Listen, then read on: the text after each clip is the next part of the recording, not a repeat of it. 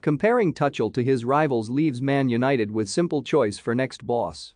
Richard Arnold has been in his role as Manchester United CEO for less than two months. But he knows that whoever he chooses to make the club's next permanent manager will be a decision that will go on to define his entire time in charge of the self-proclaimed biggest club in the world. As the years of pain and failure at Old Trafford continue to roll on, the blindingly obvious should be hitting Arnold in the face like a 10-ton truck. United's problems stem from them having failed to appoint a world-class coach to get the maximum out of all those world-class signings the club has made in recent times. Instead of appointing someone of the ilk of Pep Guardiola, Jurgen Klopp, Thomas Tuchel or even Antonio Conte, United have handed one of the most demanding roles in world football to a host of short-term fixes like Louis van Gaal, Jose Mourinho, Ole Gunnar Solskjaer and now interim boss Ralph Rangnick. United have had squads packed full of talent, but ones lacking that elite coaching, purpose and identity needed to challenge for the biggest trophies. The end result, as time has since proved, has been a maelstrom of damaging mediocrity. It means that between now and the start of next season, Arnold has to bring in a manager who can handle the burden, expectation and pressure of leading the fallen giants back to the top of the game.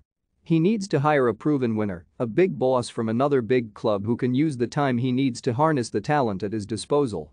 And United appear to be coming round to the fact that this man has to be Tuchel.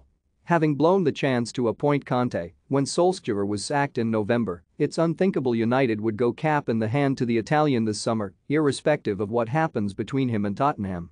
Should Thomas Tuchel leave Chelsea for Manchester United? Join the debate in the comments section.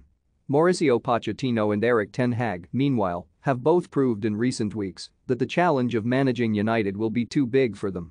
Their respective Champions League failings have simply enhanced the fact Tuchel operates at a higher level and has that toughness required to embrace the task of closing the gap on rivals Manchester City and Liverpool, who currently operate in a different league to United. Tuchel took charge of a Chelsea team foundering under Frank Lampard and turned them into European champions within six months. He also won six trophies at Paris Saint-Germain and led them to the Champions League final, something Pochettino hasn't come close to matching at the same club. United needs someone who demands the highest standards and commands the ultimate respect from the around him. Someone who isn't afraid to make those tough decisions and do what is required to win, not someone they think might have the potential to succeed.